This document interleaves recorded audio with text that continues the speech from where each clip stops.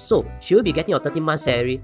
Yeah, it's the time of the year right, when you suddenly receive an extra month salary. But uh, it's actually not compulsory one. Eh. The extra month is ah, uh, cause uh, by right, uh, if pay weekly, uh, there should be 52 weeks uh, a year. Ma. So by right, uh, there should be 13 months.